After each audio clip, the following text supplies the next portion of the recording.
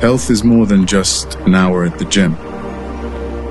We are products of our environment. I'm at my best when I'm surrounded by nature.